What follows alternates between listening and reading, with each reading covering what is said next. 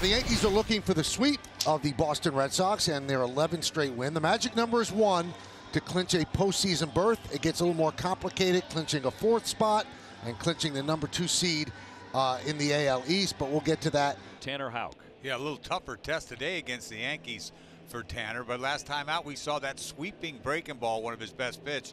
Tough against right-handers, two fastballs and a changeup split that's a work in progress. That's a shot out to right. Puello right there was hit right at him for a quick out. And here he is. Deivi Garcia going to make his fifth big league start here at Fenway Park.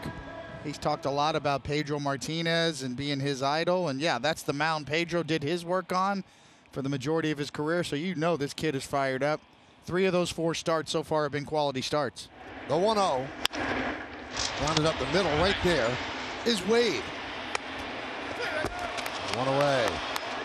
Rafi Devers snapped an 18 game on base streak last night with the Ofer. He's going to launch that one toward left center field. That's going to catch some green. Back down for Gardner. He's into second base with a double, so he said enough of that. Not being on base and hits one off the wall for two bases. Ball just jumps off his bat.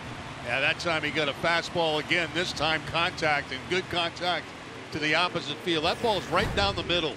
So Chavis to step in 207 three home runs for the bundled up left fielder. High fly ball.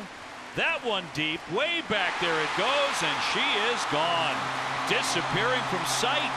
Chavis with a two-run shot to put the Sox in front. Chavis says I got your curveball right here and he just loses it.